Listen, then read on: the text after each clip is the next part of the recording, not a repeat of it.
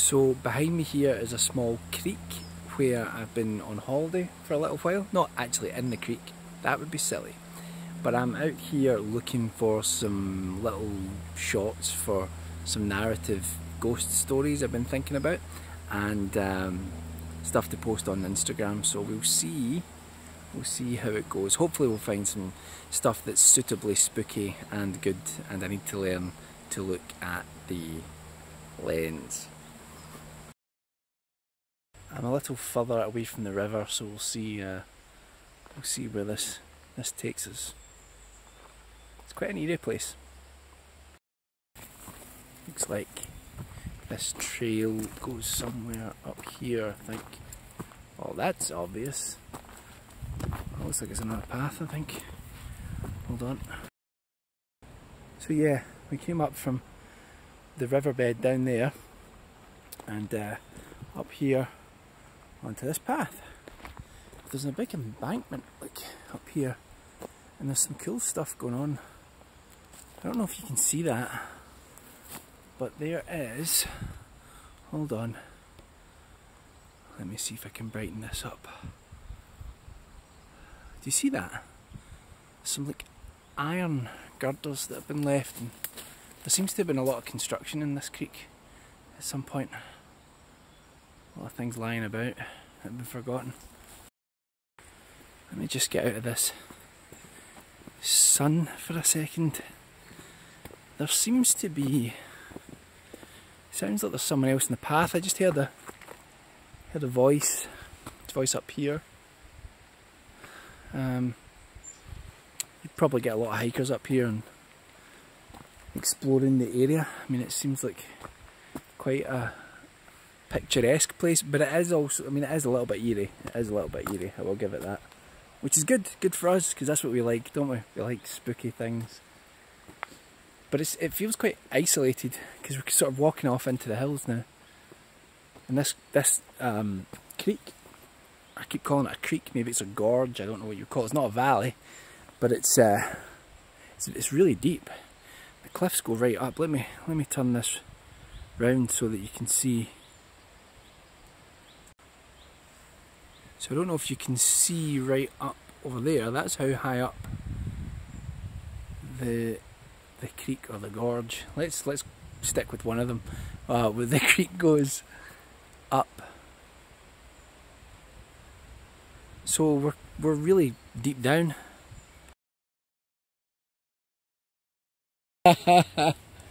yeah. People people walking through the woods. So there are people here. So that must have been what what that what those voices were, maybe. And man was talking to his dog. I talk to myself sometimes. Maybe I'm talking to myself right now. So I read a little bit about the local uh, sort of folklore about this area. Oh look, there's a little butterfly. Hello butterfly. A little bit about the, the folklore in this area. So this creek uh, was used one time as a quarry uh, by a man's company named uh, Thomas McGlynn. And Thomas McGlynn, believe it or not, disappeared in this very same quarry. Or so they think. All they found that was left of him was a shoe. Apparently he'd had a, a big bust up with his wife and just walked out the house. Rumours are that was she was going to leave him and when he didn't return that night, uh, people started looking for him in the local area and all they found was one of his shoes on the edge of the quarry. We're getting quite high up here. You can see down there.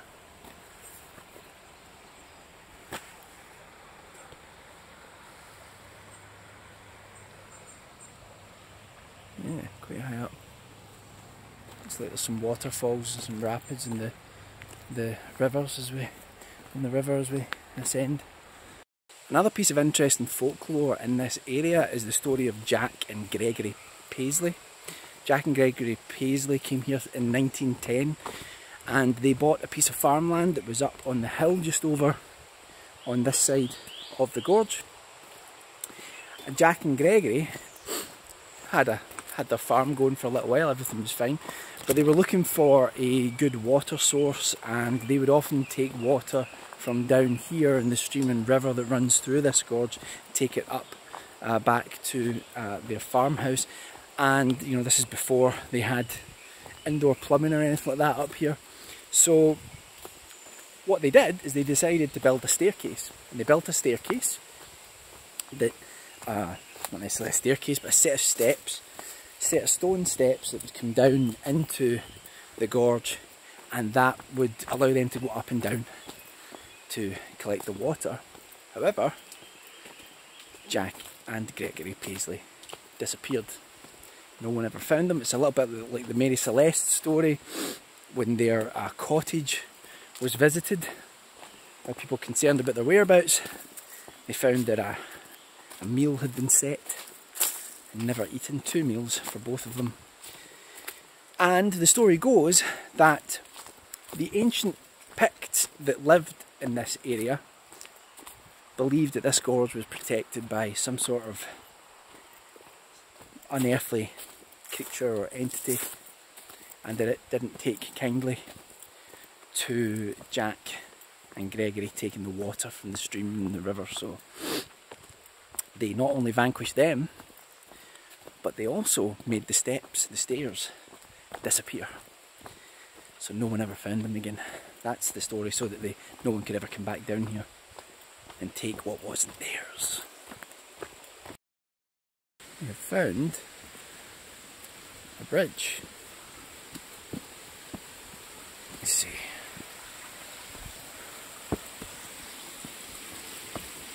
Oh, that feels. Sorry, it looks like old railway sleepers. Bit of an angle. Starting to climb up a bit again. We're probably going to come out of this at some point. Soon I'd imagine, because we're on the track now for, for quite some time. What is that?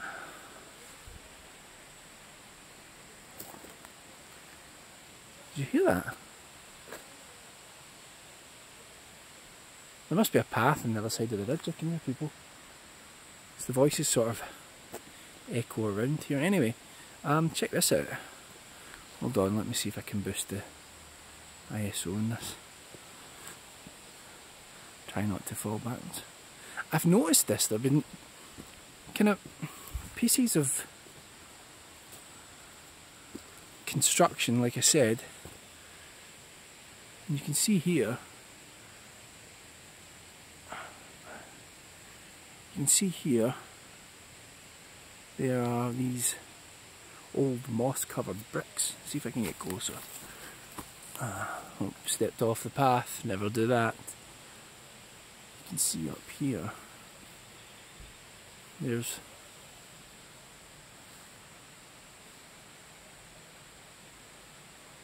there's all this brickwork. If you look down here, Look, you can see if I take the moss off. See the brickwork? It sort of digs down into the ground a little bit. I've no idea what that is.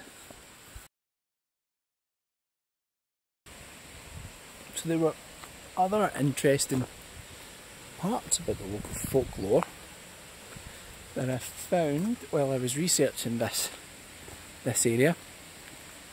Uh, the reason I knew there were some spooky goings on around here um, was because when I was a kid there was a series of books called the Spine Chiller series. They were, they were, I think they were locally produced, probably self-published really, or small print. But I remember my dad managed to get me a couple of them, really thin, thin booklets that that had little bits of local folklore from different areas around the British Isles and there was a story about this place just uh, nearly tripped up there just outside of Wemyss Bay and so and that story was about a farmer um, who married a, a woman named, Ag named Agnes and the farmer disappeared one night, just the same as Thomas McGlynn did. He disappeared out looking for some of his sheep that had wandered um, away, and he never came back, at least not initially. So the story goes, wow, look at this up here. That looks dangerous. the story goes that the farmer vanished and Agnes remarried. And this was in the 1700s. So that was really a time when you didn't really do that sort of thing. It was frowned upon. Agnes, one year to the night of her wedding anniversary, was found bludgeoned to death in her little cottage up in the hills. And her new husband was gone too. So people assumed that the new husband had got into a fit of rage and murdered Agnes and disappeared, ran off. There, I don't know if there was any record of what happened to him, but his uh, the stories in the local area started to focus on the idea that Agnes's husband had come back uh, as a as a vengeful spirit from the wilderness somewhere to enact his revenge.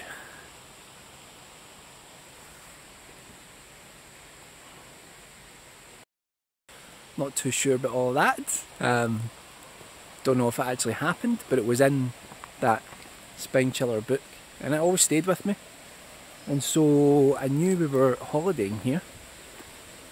I wanted to check it out and it led me down a rabbit hole, found out about Thomas McGlynn's disappearance and three other people that have disappeared here over the last 150 years.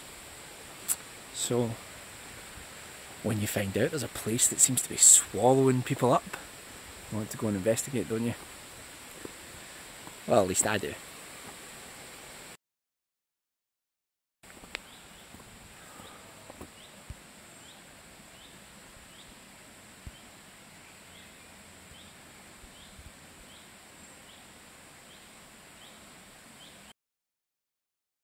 This path just seems to go on and on. Probably should get back soon. Should have said my family are waiting for me. Back at the lodge, managed to get a couple of hours. There's more of that, more of that stonework. I don't. Can you see in here? Hold on, I'll boost the brightness again.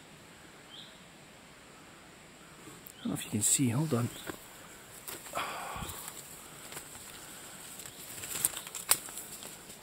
See, you see all that? Those are massive, massive bricks.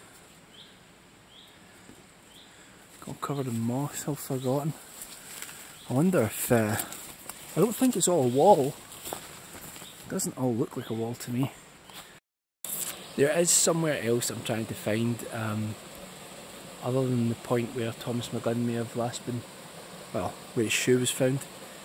Um, it's back down into the river, so I'm going to come off the path and uh, see if I can find it because there's an interesting little little piece of folklore there as well. I'm actually really pleased. I was going to give up. I hope you can hear me over the sound of the the I want to say river, Babylon Brook uh, behind me. So um, I'm really pleased that we found this because I didn't, I, I wasn't sure because the the um, woman back at the the holiday park she marked it on a map for me and she wasn't quite exactly sure, but she used to come down here when she was a little girl because I was talking to her about local uh, ghost stories and the sorts of things that I do on my podcast, Talking Till Dawn, everyone, um, with Martin Yates. Um, so I wanted to check that out. But look, here we are. Let's take a look. You see behind me? I'm still getting used to this. Hold on, I'll change camera. See if I can get further down without falling in. So this, this little place, right here, has significance for a few people locally, at least the story that I managed to get off of, it was an old forum actually from about 2002 uh, when I did a search for, for stories in this area and um, so I found a tidbit about it and then the, the lady back at the holiday park sort of filled me in and told me the rest. So here is oh the camera's doing something funny, hold on. This here is Tamney's pool. So Tamney, strange name as it is, sorry to anyone who's called Tamney, um, was a local girl who apparently drowned in this pool. So the story goes that she lived in a, a nearby village and people had started noticing that she was leaving the village regularly and she was walking up into the hills and she was finding this this gorge and she was walking through it. People didn't know where she was going exactly, didn't know exactly what she was doing. And so her family who were concerned about her, I think she was a, she was about 11 or 12 years old at the time.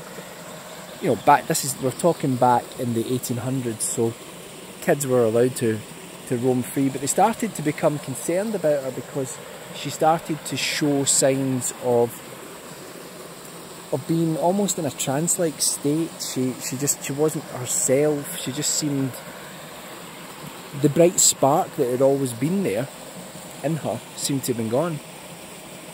Anyway, she kept going, leaving the village and going somewhere, and so her family finally followed her one day and they found her here, coming to this little place. And the story is that she used to stand little rocks up on top of each other, like this, into a little pillar. Strange little pillars that she would make.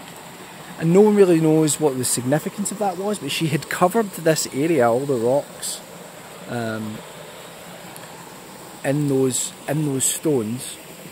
And when she was asked about it, she, she got really angry that people had followed her out here. But stories started to to uh, make the rounds around the village that she was, you know, she was a witch, that she was in cohorts with something in the woods uh, that people didn't really understand. And sadly, Tamney was found drowned in this pool not long after. Um, and the stories are that she had some uh, runic sort of symbols cut into her arm, uh, but whether she'd done that herself or not, I don't know. Uh, I'm not sure. It's a strange little pool. I don't know if you can really see right down there. It's deeper than I thought. And you've got this sort of overhanging rock. Is that, I don't think that can't be a cave over there. It's ridiculous. I swear to God, I didn't touch this. I didn't do it. It's nothing to do with me. You know, I found out that story, got most of it from, uh, well, a little tidbit of it from a local forum, then the lady at the holiday park. And uh, yeah, so the story about Tamney making little pillars out of rocks, no one really knowing what they meant. Well, check this out. So again, I swear I did not do this. Now, apologies, I'm still getting used to using this camera and this gimbal thing that I'm using. Let me zoom in a little bit. Can you see that? That, just like we were talking about those stones being piled up by Tammy, the girl that supposedly drowned here. And here we have three stones, one sort of long one and two on top of each other, and they're really strangely balanced. So I don't really know what to make of that. Uh, very strange. Pretty creepy. Probably someone who knows the story. Maybe it was the lady at the holiday park. I send people down there, then I put rocks all about, just to scare them.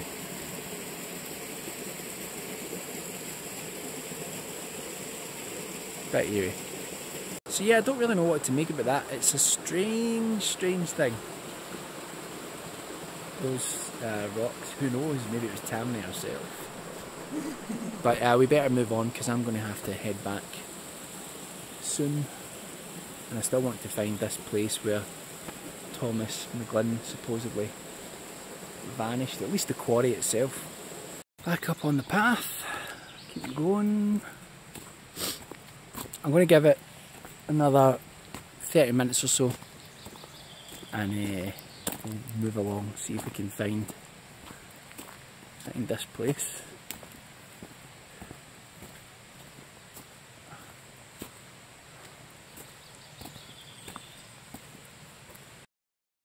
Is this part of the old quarry?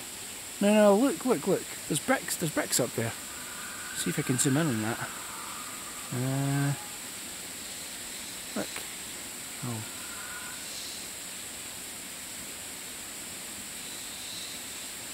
I don't know if I can get that in focus. No, I don't think so.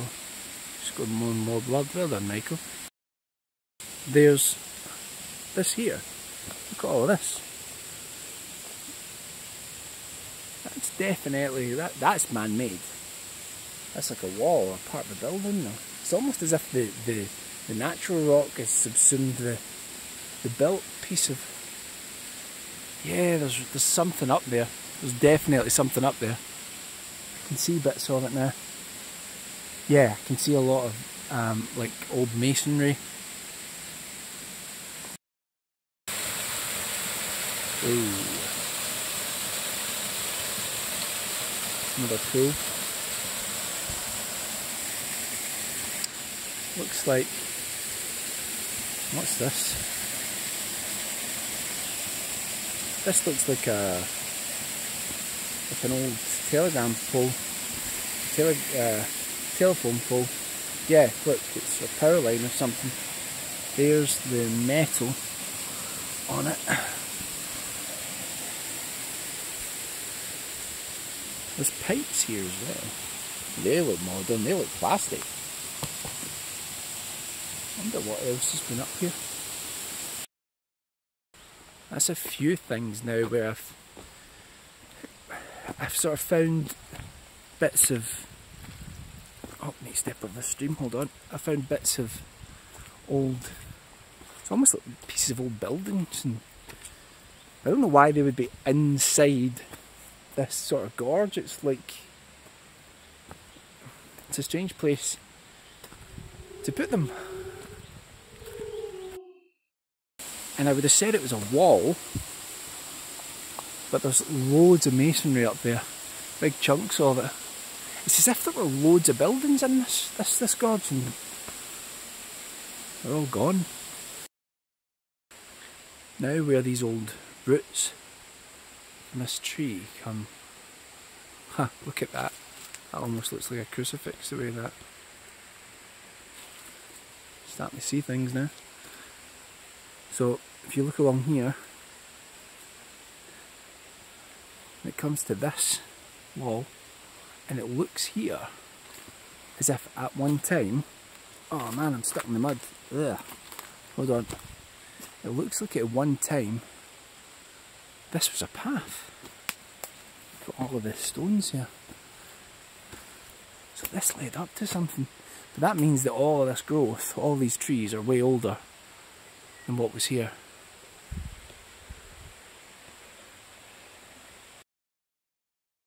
I came in here and look what I found. So I saw something.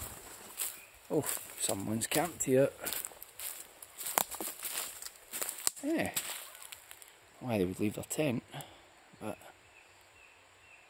there you go. What is that over there? Look at that. A tree. Ooh, a tree, audience says. Let's see.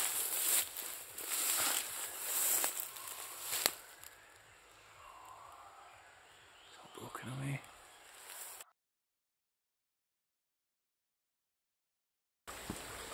And this cliffside looks, on, boost the brightness a bit. This cliffside looks pretty epic, but it's it looks a bit like that other rock. So I mean, maybe that is just just natural, naturally occurring. Oh look! What we found here. A warning. Danger. Unguarded edge. No shit. Children must be supervised at all times by a responsible adult. Oh, but I'm responsible. And I'm a child. To be honest, I think I might have to call it a day. Things are getting... Things are getting... The day's getting on a bit. And uh, I'm starting to get a little bit... A little bit claustrophobic. This is just... This gorge has just ran for... Forever. And it feels like we're rising, but the cliffs on either side are rising as well. I'm going to turn back in 10 minutes if I don't find anything. I'm a little, uh, I'm a little unnerved. I keep, I keep hearing something. It's kind of, whoa, that's bright. I keep hearing something. I'm not sure if it's the back of me or in front. Um, yeah, I'm definitely hearing something now. Um, it sounds like it's getting a little bit closer. Um, I'm not sure. I'm not sure which. Yeah, it's just a little bit unnerving that it, it sounded like. It sounded like like several people, you know, like like a few people. It didn't sound like one one or two. It sounded like a lot of people. But I don't know. I don't know where else where that would be coming from. Uh. I don't know if I. What, was, what was that?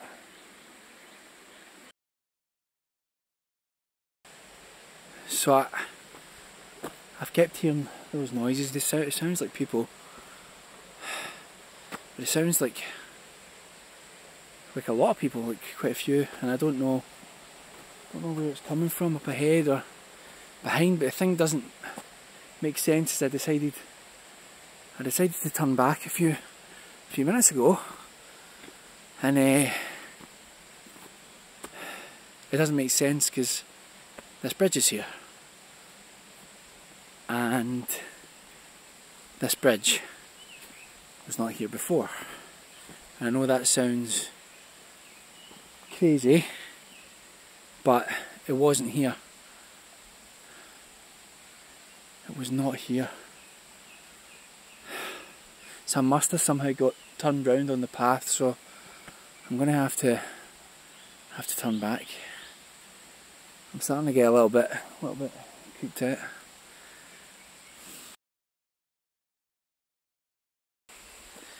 Um, I'm definitely, definitely hearing, hearing voices and things. I don't know if the camera's picking it up. I hope it is because I'd love to get back and listen to it. But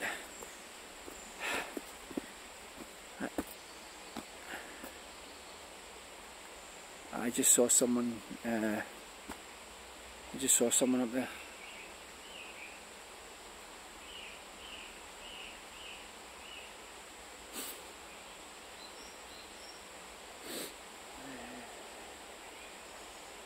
I thought I did, but there's there's no one.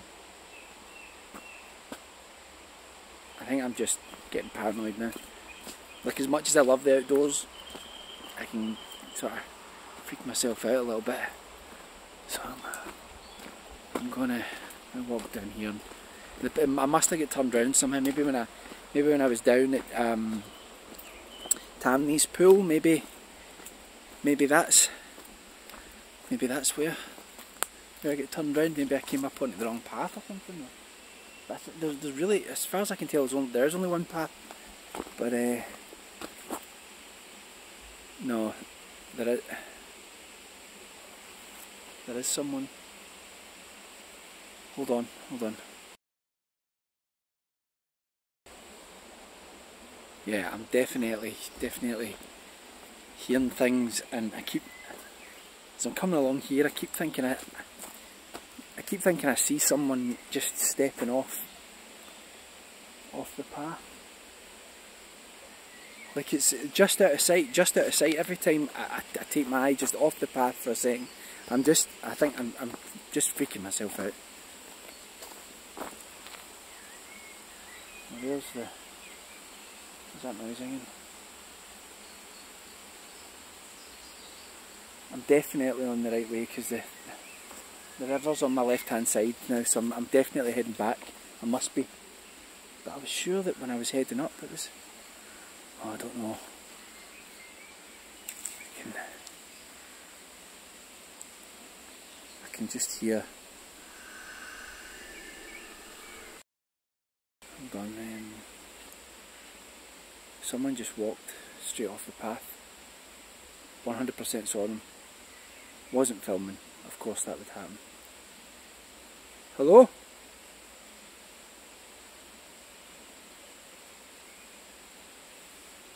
Hello?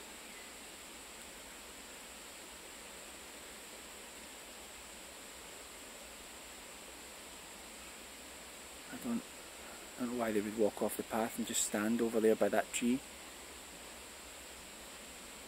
Hold on, see if I can get them or not. Hello?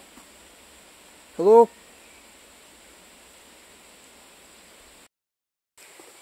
There's someone standing over there. It's they're not they're not moving, they're just standing next to the tree and this is I think this is the only way I can go to get out. Go back, but I don't know why they're not answering me. Hello? I can see you. I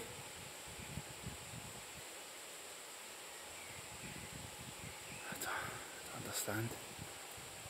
Looks like they're wearing old, it's like old farm clothes or something. Or